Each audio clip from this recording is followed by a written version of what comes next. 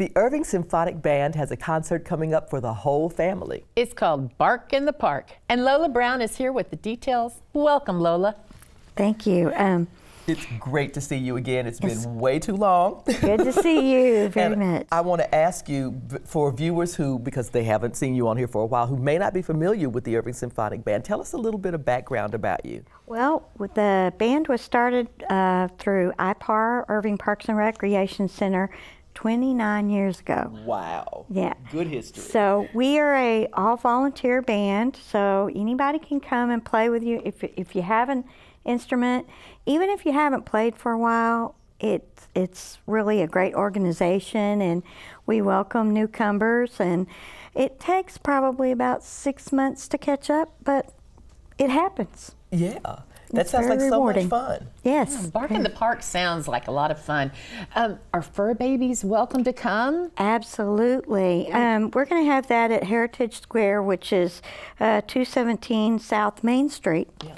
And um, it's an outdoor concert, and um, we encourage our audience to bring lawn chairs and picnics, blankets, whatever you want. It's just a good, fun family atmosphere. What's in store for the attendees? Well, um, uh, we're going to, of course, we're going to have a lot of music about animals. There's going to be some surprises.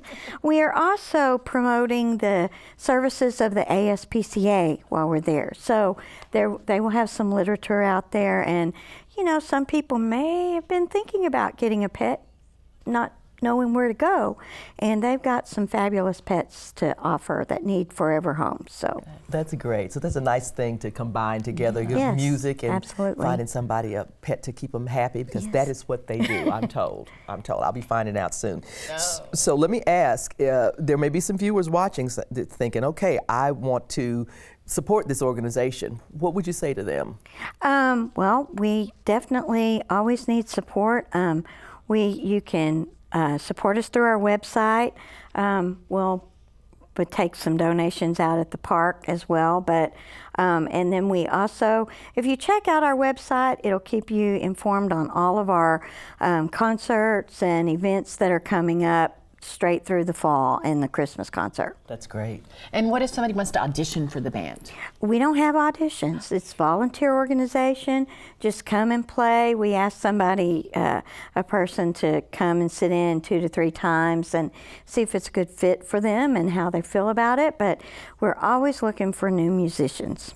That is wonderful. So, folks, you've heard it here. If you've got that clarinet back there in the closet and you are ready to pull it back out again, this might be a, a nice fit. Come and find out. So, Bark in the Park is happening on Thursday, June 27th in Heritage Park, as Lola told you, at 7:30 p.m. If you'd like more details, you can go to irving-symphonic-band.org.